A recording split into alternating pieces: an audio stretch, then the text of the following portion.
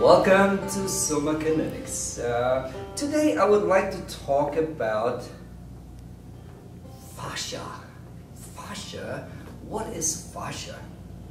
Well, it's connective tissue. Connective tissue that connects basically everything in our body. There is superficial fascia right beyond, uh, below our skin, and then there's fascia that goes three-dimensionally to the lower fascia. So fascia, or the Brits would say fascia. If you look at this model here, there are rubber bands and there are wooden dowels and they're totally suspended. Those wooden dowels represent actually our bones. And our bones are connected via fascia or connective tissue. So there's never going to be bone on bone unless you have some type of disease. So what happens if you move one limb? Let's say this bone here, this limb, then something else happens with the whole structure.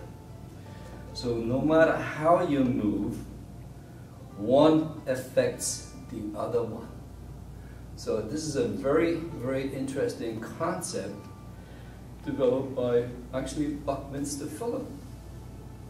And a lot of research of fascia uh, there's a lot of research out there, and a lot of credit goes to Thomas Meyer and his anatomy trains, and also Dr.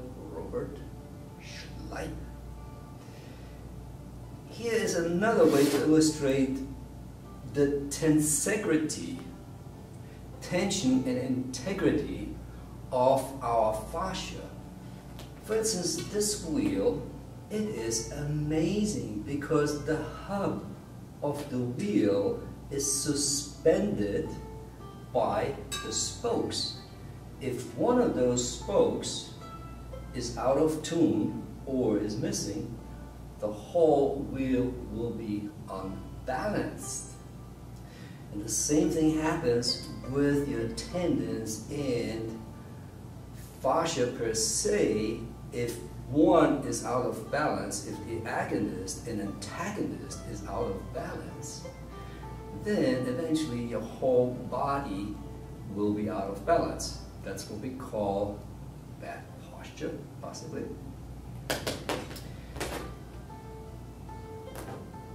So keeping your, your body in alignment is very, very important. The uh, there's a science called uh, posturology, and we can see uh, sometimes you bring your neck forward.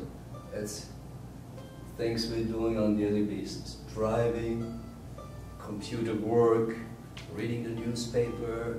So eventually the posture becomes a habit. And by creating just the opposite movement, you are having the possibility to realign your posture, your neck, the lower back, middle back, upper back, hip. So I hope this gives you a general idea what tensegrity, tension and integrity, what that does to your body and your posture. Thank you.